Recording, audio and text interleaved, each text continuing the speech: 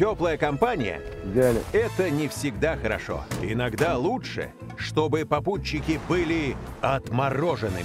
Воняет. Чем? Рыбаком. Холодно. Завтра в 22.00